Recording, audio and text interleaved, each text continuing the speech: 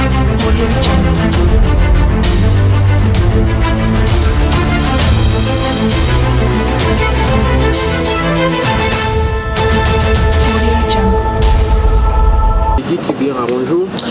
Monsieur le journaliste. Merci euh, d'avoir accepté notre invitation. Ce matin, nous vous recevons en direct et en exclusivité sur Congo avec Télévision. Vous êtes un analyste euh, indépendant. Merci pour euh, votre présence. C'est moi qui vous remercie, mais c'est Justin Kabumba et je, je- je profite d'entrer des jeux pour vous demander d'être courageux. En tout cas, faites preuve comme d'habitude de, de bravo parce que il y a peu j'ai suivi euh, comment est-ce que certaines langues voudraient euh, t'incriminer, euh, te jeter de l'opprobre alors que tu fais bien ton travail. C'est vrai, nous sommes en guerre dans la région et chacun essaie, d'apporter sa contribution à son niveau. Voilà pourquoi je t'encourage et derrière toi, avec toi, plusieurs autres journalistes qui sont en train de donner ce qu'ils peuvent donner, chacun à son niveau. Merci Guy. Alors, euh, je rappelle que nous avons en tout cas 20 bonnes minutes pour décrypter, analyser quelques questions d'actualité. Oui. Et il faut rappeler que le Nord Kivu reste dominé aujourd'hui par euh, ces affrontements qui se poursuivent entre les forces armées de la RDC, les rebelles du M23 et leurs alliés, notamment l'armée euh, rwandaise. Alors Guy, on commence par cette question bien parce qu'il faut préciser, on a vu le week-end, euh, un week-end qui a été marqué par une avancée, il faut le préciser bien, du côté M23. Qui explique cette avancée? Parce qu'il il faut préciser que les rebelles sont aujourd'hui en tout cas à quelques kilomètres de Sac, Sac qui est d'ailleurs reste aujourd'hui le dernier verrou sécuritaire pour Goma, à environ 27 km de la capitale du Nord. Comment expliquer et comprendre cette avancée des rebelles? Bon, ce que nous vous appelez rebelles, c'est au fait ce que j'ai toujours qualifié de l'arbre qui cache la forêt.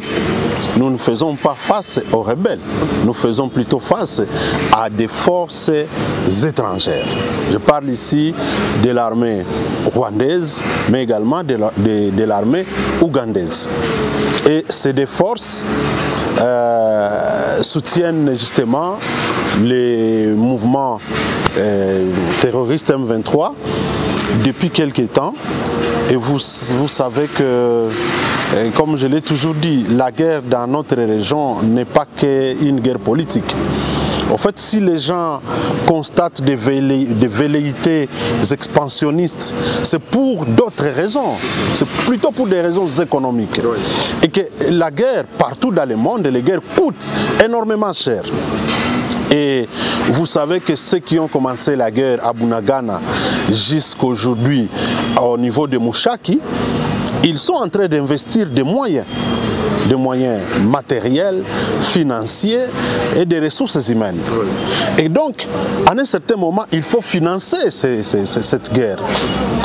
Malheureusement pour nous, nous sommes cette belle femme enviée par tout le monde. Ceux qui nous font la guerre pour accéder à nos ressources, eh bien, ils sont prêts à tout conquérir des zones qui ont des gisements miniers au fin d'exploiter illégalement, et c'est ça qu'on appelle le pillage des ressources naturelles de la RDC, pour obtenir les moyens de leur politique. Voilà comment moi je résume l'avancée parce que avec euh, euh, euh, la résistance des forces loyalistes, à un certain moment, ils étaient bloqués entre bien sûr Rutshuru et, Kichanga. Du coup, dans cette zone, vous n'avez pas de gisement minier. Il était tout à fait normal qu'après avoir occupé Kichanga, ils cherchent à, à aller vers des, des zones où il y a de l'exploitation des minéraux, et c'est le cas de Rubaya. En fait, la prise de, de, de, Mouchaki n'était qu'une façon d'ouvrir le couloir d'évacuation des minéraux euh, auxquels ils veulent accéder au niveau des de, de- de Rubaya. Heureusement qu'il y a eu de la résistance des, des- des- des- des- des- des populations à l'heure où je vous parle, il me semble qu'ils n'ont pas encore pris contrôle de cette zone pour commencer à vider. Et j'ai ouï même dire qu'ils avaient ouvert la voie pour évacuer euh, en fait, tous les minéraux qu'ils auront trouvé sur le terrain. Voilà pourquoi j'ai dit que cette avancée a des- des velléités de pillage. Et pour moi, c'est trop interpellateur. Trop interpellateur au niveau des gouvernants. Parce qu'il revient au gouvernement congolais, jouissant de sa souveraineté, de faire tout ce qui est à son pouvoir. En fait, le gouvernement congolais n'a pas l'obligation des moyens. Le gouvernement congolais a l'obligation des résultats pour donner justement le sentiment à la population, au peuple congolais d'être gouverné. Sinon, si les expansionnistes, si les mouvements terroristes, les rebelles, les forces étrangères continuent à gagner du terrain, on va décourager cette population qui soutient entièrement le gouvernement et particulièrement les forces loyalistes. Voilà pourquoi j'insiste et je souligne donner au peuple le sentiment d'être gouverné. Une question qui, si jamais aujourd'hui les, les, les rebelles prenaient le contrôle total des Robaya, qui est une zone stratégique et une zone minière, est-ce que euh, euh, euh, y a, on peut dire euh, que c'est un pari gagné pour eux et un manque à gagner pour le gouvernement congolais Mais bien sûr, là on ne peut pas réfléchir par deux fois.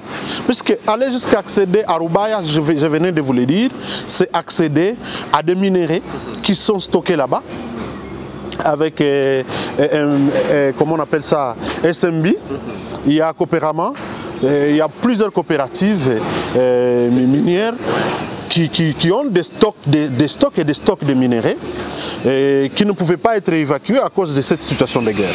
Alors, aller jusqu'à accéder à cette zone, c'est aller amasser des ressources déjà stockées pour aller les évacuer par le Rwanda et l'Ouganda et enfin obtenir les, les devises, l'argent pour venir continuer à faire la guerre. C'est-à-dire on va nous utiliser nos propres ressources pour nous exterminer.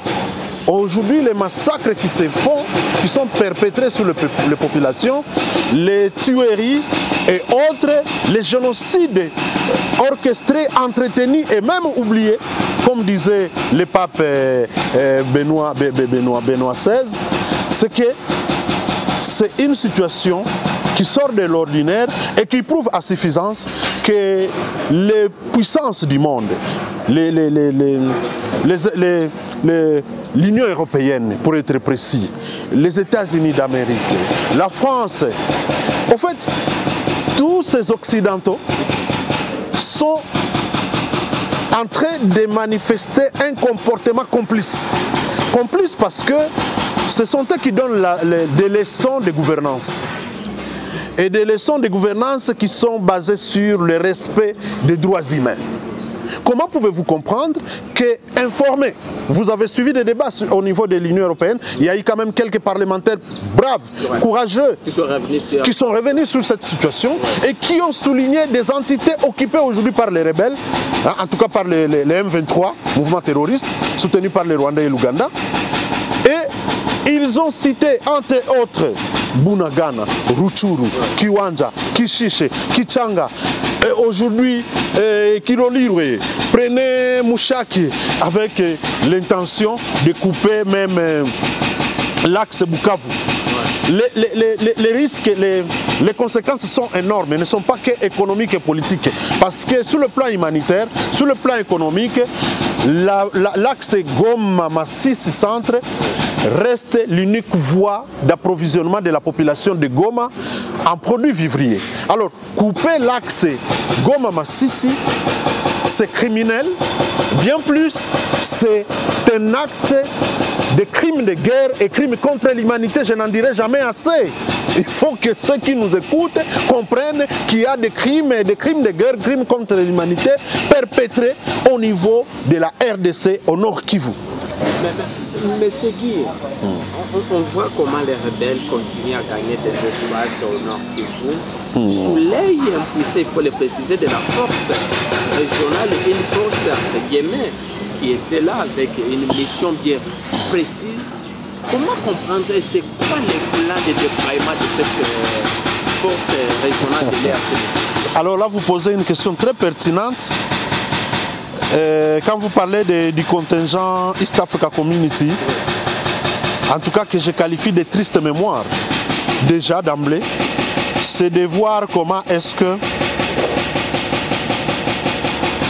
un contingent qui vient comme solution à la persistance des forces négatives, des mouvements terroristes, des groupes armés, avec un mandat offensif, arrivé sur terrain, se transforme en un mouvement de cohabitation, un mouvement de... Certains parlent selon en disant même un mouvement des touristes. Il y a ceux qui les Eh bien oui, hein.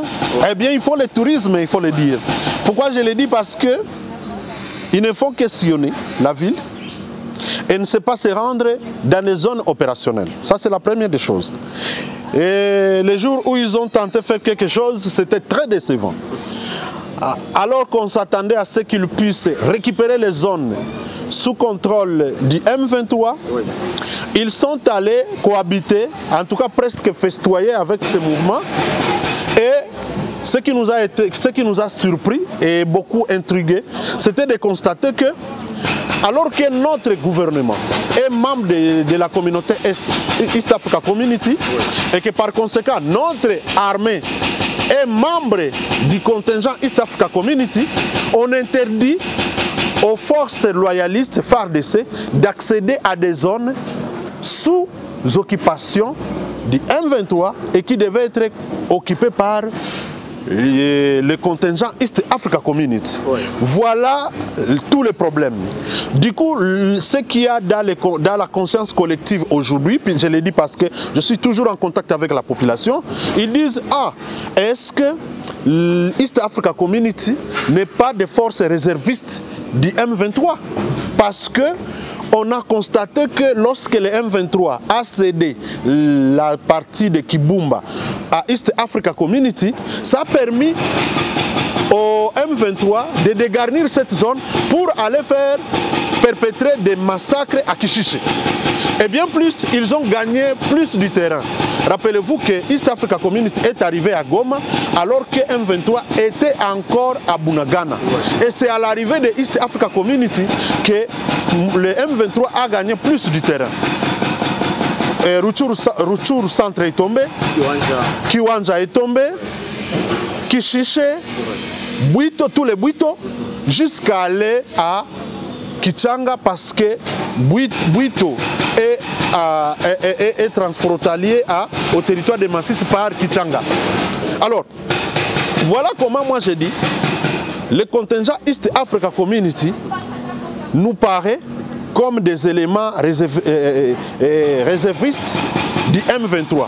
C'est-à-dire lorsque le M23 occupe des espaces, pour avancer, c'est East Africa Community qui doit occuper ces espaces-là pour les garder en faveur du M23.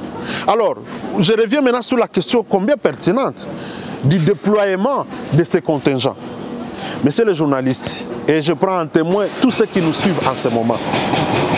Comment pouvez-vous comprendre que les chefs d'état-major des différents pays membres de East Africa Community vont se réunir pour se répartir des axes, des zones qu'ils vont occuper De toutes ces armées-là, de, de, de toutes ces armées des pays membres de East Africa Community, ils vont se répartir même des zones non occupées par les M23. C'est par exemple le cas Sake, Kichanga, qui n'était pas sous contrôle du M23, mais dans leur répartition, ils vont déployer les gens là-bas. Et je comprends, ils cherchent à, éviter certains pays qui ne sont pas trop d'accord avec leur, leur conciliabile. C'est le cas du Burundi qu'on voudrait mettre sur l'axe Sake-Kichanga pour les éloigner des zones transfrontalières où ils vont faire passer les minéraux qu'ils pillent sur le territoire congolais. Voilà comment je vois ces déploiements. C'est un déploiement d'intérêt, c'est-à-dire ils se déploient pour se répartir les ressources qu'il y a sur le territoire congolais. Et ça, c'est très dangereux. Je ne peux pas comprendre comment est-ce que les gens qui sont venus pour barrer la route aux groupes armés, aux mouvements terroristes, se plaisent à se, déployer comme des, comme, touristes dans des zones sans faire face aux ennemis de la sécurité dans la région des Grands Lacs. C'est là le danger. Et du coup, je dis, ça ne sert à rien de, rester avec euh, euh, euh, un contingent pareil qui ne peut pas se rendre utile sur les champs d'honneur.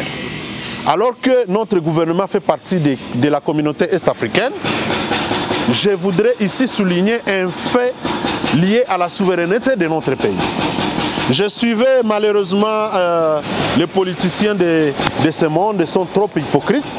Je suivais Macron parler de certains, de certains Il a évoqué plusieurs aspects, plusieurs points. hein. oui, il, il- il- il a évoqué plusieurs points, Ouais. mais pour moi, c'est c'est un discours creux. Du moment que sur terrain, il n'est pas en train de manifester la détermination de la France à soutenir ses valeurs. Écoutez, pour un pays souverain comme la RDC, bien sûr que l'unité des Congolais est une valeur. La- la- des frontières, n'est-ce pas, est, un impératif pour les Congolais la souveraineté doit être respectée par tous et sans, sans condition. Ok?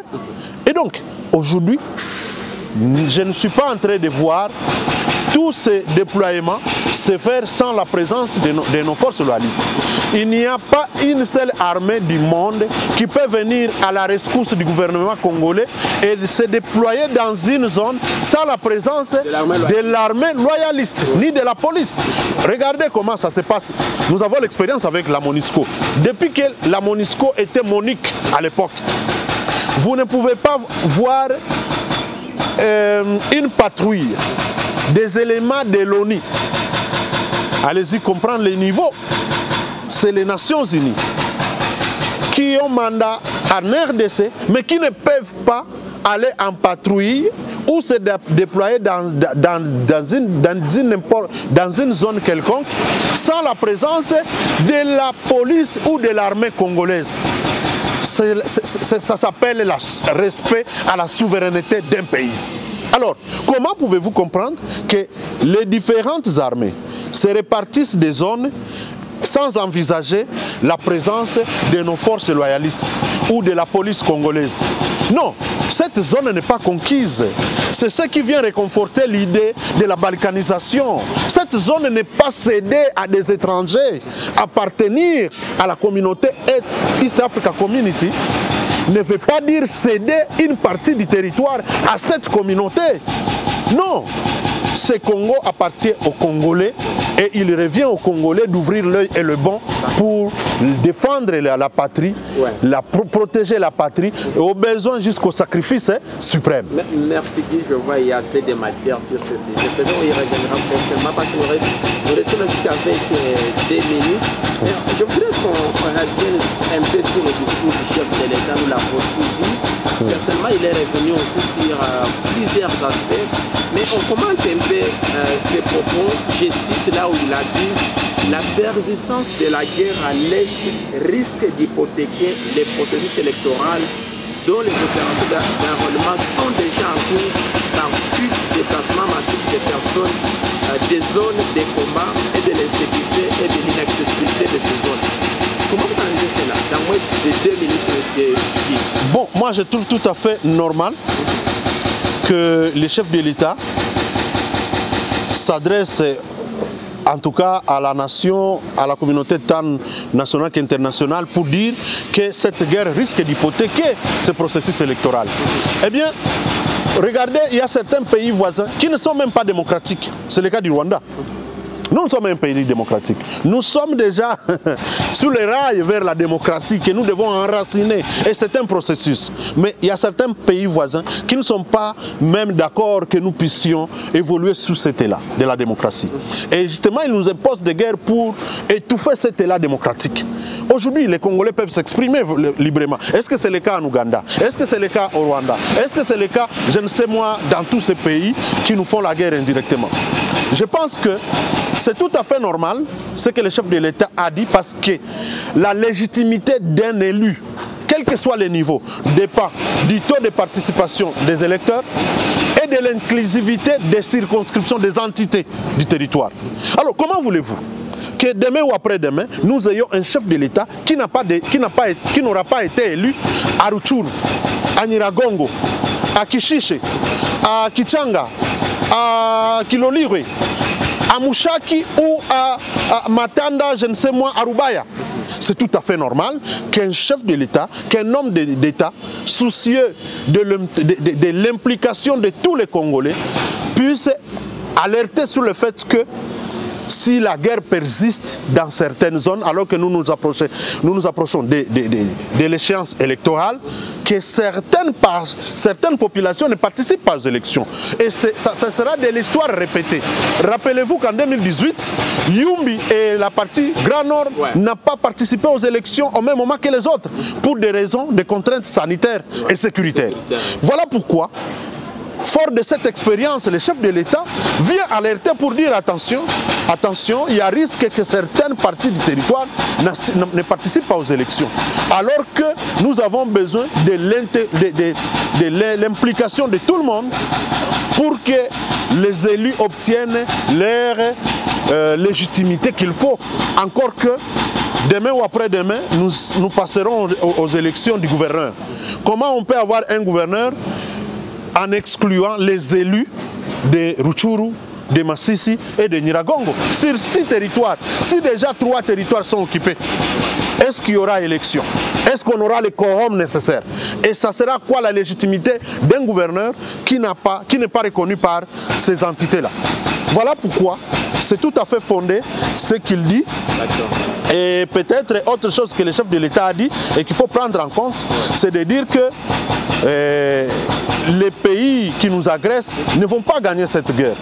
Justement parce qu'il y a une conscience collective qui est en train de grandir de plus en plus et c'est un indicateur très important. Parce que bien qu'ils soient en train de gagner certains, certaines batailles, certaines batailles, certains combats, il n'est pas dit que gagner des batailles signifie gagner la guerre. Au finish, Mouzel avait dit à un certain moment que cette guerre sera longue et populaire. Plus les velléités des pays voisins agresseurs se développent sur le territoire congolais, il est en train de créer une, une psychose, des tensions internes. Si ces tensions arrivent à s'extérioriser, c'est là que ça peut nous amener à une guerre populaire. Et ça sera, très, ça sera très dangereux. Voilà pourquoi je reviens sur ses propres propos.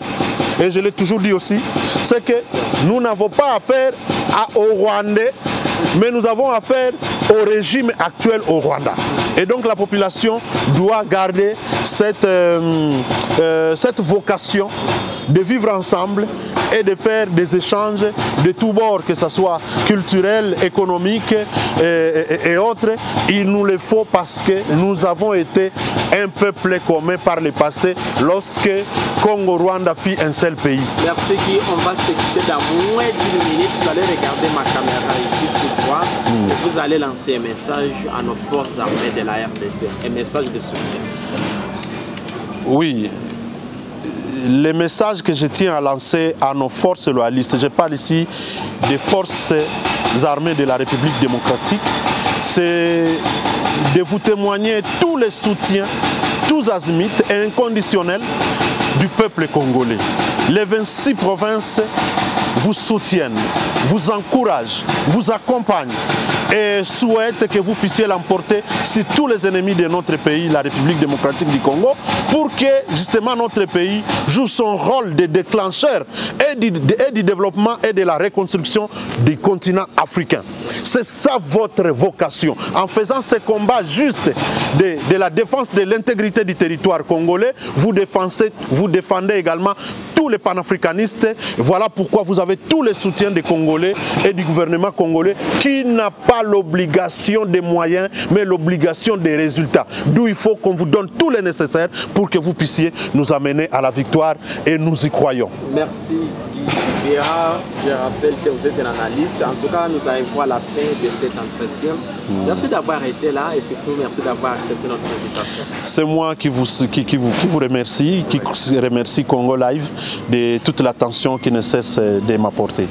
Merci en tout cas et on se fixe rendez-vous à la prochaine fois. Ça va. Merci.